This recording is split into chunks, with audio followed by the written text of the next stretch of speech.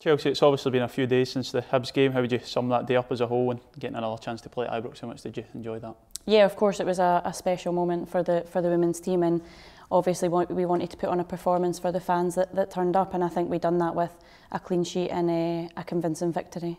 Yeah, you touched on to come out the, on top with such a convincing win against a good side as well. That must give the team such confidence for what comes ahead. Oh, definitely. I think um, what we've been really striving for is to be more clinical in front of goal, and um, you can see that's going well as of Sunday's result. And the team's preparing for the first Old Firm League fixture of the season. How much you'll relish in that in the, the game this weekend? Yeah, everyone's buzzing. Obviously, it's a, a few firsts for um, some of the some of the squad. So yeah, everyone's really excited and looking forward to it. And yeah, we're just focusing on ourselves. even at this early stage, how crucial can positive results be in these games? Obviously, it can come down to fine margins at the end of the season. Yeah, definitely. Every game you go into, eh, you're looking to get three points, and um, this Sunday's no different to that. And what do you feel can be the difference in these types of matches? How do you approach them as players? Do you look at them differently?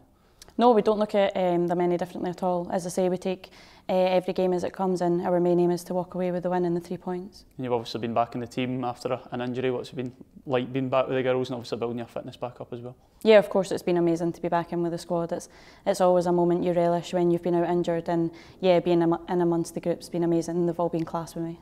You've obviously played in these fixtures in the past. How do you feel about these big occasions? Do you enjoy rising to them as a player? And do you feel it brings the best out of your game?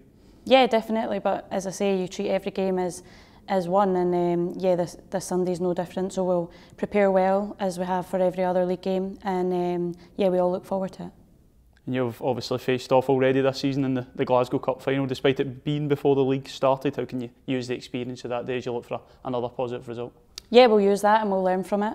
Um, I think there was many positives in the game. Obviously, we came away with a victory, but yeah, we'll definitely uh, look on what we we done well and focus on us and see how we can develop for Sunday's game. And in terms of momentum heading into the international break, how vital would a positive result be at this stage and something to build on? Obviously, it's been a fantastic start to the campaign.